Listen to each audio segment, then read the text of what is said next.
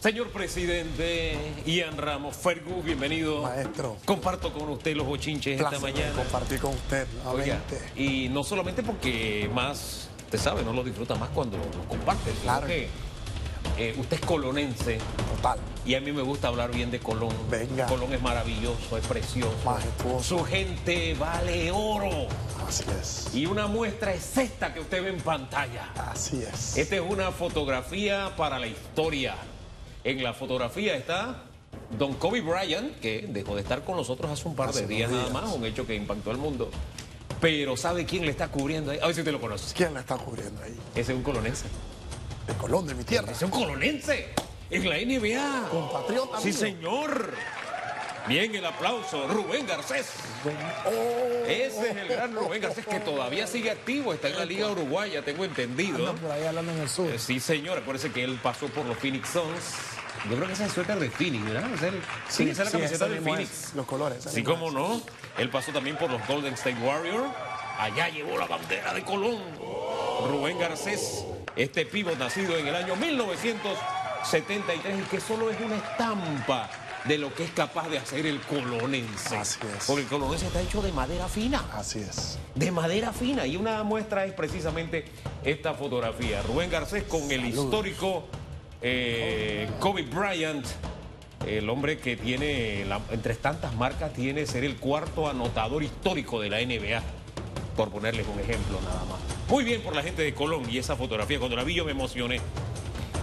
Cuando la vi yo me emocioné. Lo dejo hasta ahí. Usted sabe que Rubén Garcés también tiene la nacionalidad española, ¿no? Porque Oh, sí. él jugó- en Él España. tuvo unos años por allá. Sí, exacto. Contrasto eso que acaba usted de ver con lo que va a ver y oír. a la gran huelga masiva irrevocable, sin marcha atrás, los días 3 y 4 de febrero del 2020, desde las 7 de la mañana hasta las 12 medianoche. Este es, ya, no, no le doy más cabida. Este es el video promocional de la protesta de causa justa. ¿Qué usted ve? Ve llantas encendidas, ve una ciudad incendiada, llamando a protesta en 62 puntos. Dice bloqueo total e irreversible. Yo de verdad que le, le hago un llamado a la conciencia al colonense y a los señores de causa justa. Así es. Porque a mí me parece injusto con los colonenses y con el país este tipo de protesta. Porque es dispararle eh, en el pie a la economía de Colón. Ahí en ese comercial que tienen dando vueltas por las redes y que proviene de los mismos dirigentes de la vez pasada, a propósito, es. este, se dicen muchas cosas. Usted puede estar de acuerdo o no con ellas. Lo que sí estamos de acuerdo es con el derecho a la protesta porque todos lo tenemos, pero por favor, el derecho suyo termina donde comienza El de derecho tercero. del otro. Así es. Entonces, su insatisfacción, su malestar o su propósito político, porque detrás de esto hay figuras que todos conocemos, este, no puede estar por encima del derecho al trabajo que tiene el colonense que sí está trabajando. Así es. El derecho a la salud del que ese día tiene una cita médica.